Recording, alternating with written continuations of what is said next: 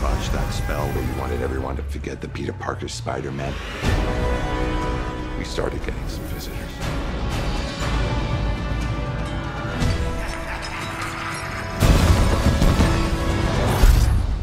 Hello, Peter. Do I know you? You're flying out into the darkness to fight ghosts.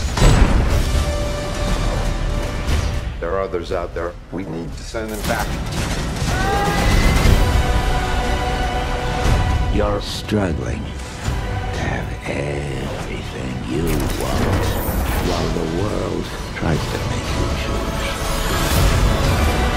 There has to be another way. Earth.